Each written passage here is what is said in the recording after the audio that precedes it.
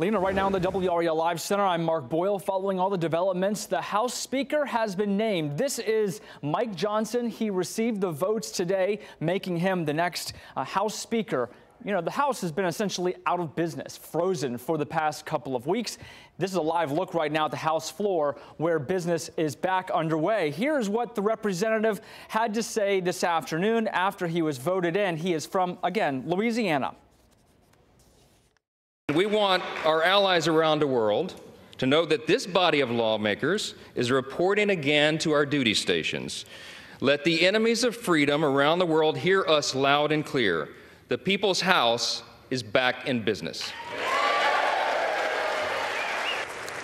And as for that vote, if you're wondering, it was a unanimous vote, unanimous support from the GOP, 220 votes for Johnson, 209 votes for Democrat Hakeem Jeffries. Back to you. Lots of work to catch up on. Thank you, Mark.